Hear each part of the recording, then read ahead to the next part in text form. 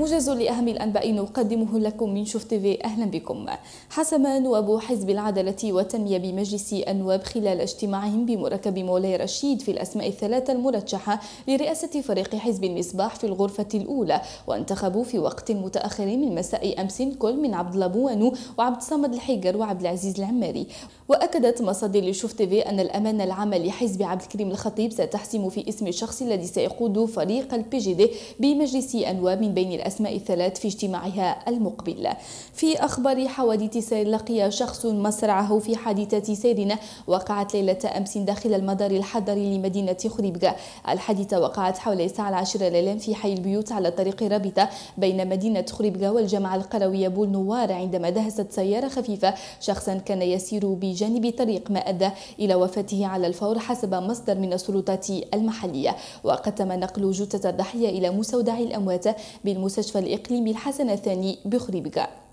دعا التنسيق الميداني للمجازين المعطلين والأطر العليا المعطلة إلى تنظيم مسيرة احتجاجية اليوم بالرباط للمطالبة بإطلاق سراح المعتقلين الذين اعتقلوا الخميس في محطة القطار سل المدينة. وأفاد مصدر من التنسيق لشوف تيفي أن هذه الخطوة تأتي في إطار الدفاع عن المناضلين الذين تم اعتقالهم بتهمة عرقلة القطار الخميس بعد نهاية أحد الأشكال النضالية التي دأب التنسيق على خوضها في رباط من أجل المطالبة بالتوظيف قتل الشاب المغربي أمس أنس الحلوي الذي كان يقاتل في صفوف المعارضة السورية المسلحة الذي انضم إلى حركة شام الإسلام بسوريا.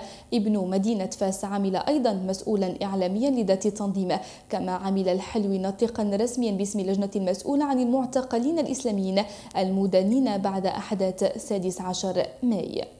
في الخبر الرياضي انتهى الديربي الأمل الذي جمع فريقي الوداد الرياضي وضيفه الرجاء البيضاوي الرياضي بالتعادل الإيجابي وذلك خلال المباراة التي جمعت الطرفين صبيحة اليوم بمركب محمد بن جلون.